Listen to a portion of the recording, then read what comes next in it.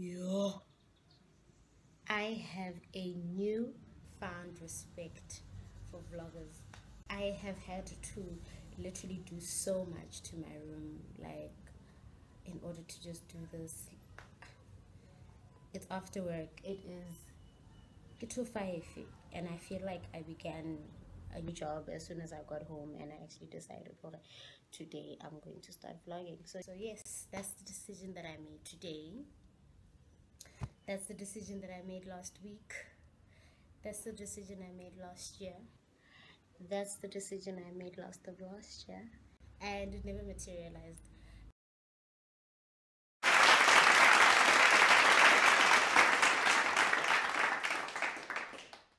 Hey guys, welcome back to my YouTube channel. I it. There. Shit. Video should be about reasons as to why it has taken me so long to begin a YouTube channel. I think there are three reasons as to why I have not begun a YouTube channel. So let's begin.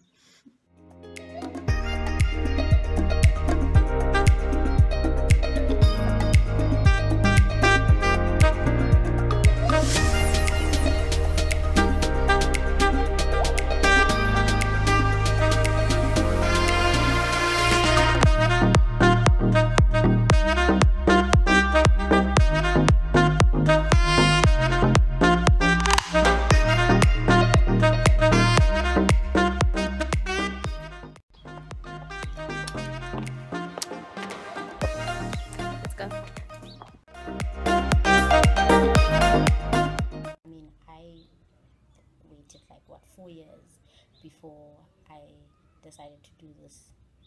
Three, four years, and every year I had an excuse.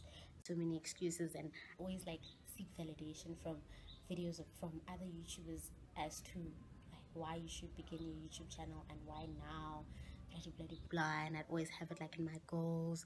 Hey, I want to begin a YouTube channel. Oh my gosh, my friends saying, "Oh, so why don't you just do it?" And I'm like, "I one, don't have the equipment to begin the YouTube channel. Listen, even now, I don't have the equipment to begin this YouTube channel. One. Two, um, I was worried about reception. I was worried about how I'd be received by people. But I think for me now, this YouTube journey is just quite personal. It's for me, it's like a diary. Um, I'll be documenting my life. You know, time passes by so much letsola ka le leng le a tweka because I've been holding up this device for so long. Shit, it actually is doing the most. Was that I was worried. Well, I didn't really know what my YouTube channel would be about or the content that I'd be producing. I didn't know what content I'd be putting out there to people and how I didn't know whether they would receive what I've done well. Hey, my name is Kea, and I guess I'm a vlogger now. I did it finally. After four years, I did it. I'm here. Let's see. Let's see what happens. I'm excited for this journey.